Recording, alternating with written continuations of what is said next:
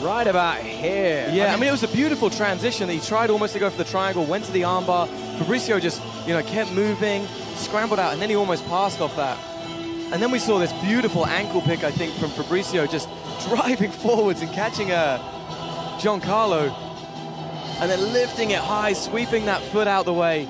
Just absolutely beautiful work from him. And again, working this Uchimata position. And here we see him, he just hops, elevates those hips. Like he had a 99 kilo person on his leg. I mean, just looking absolutely Yeah. Amazing form performance. Tonight.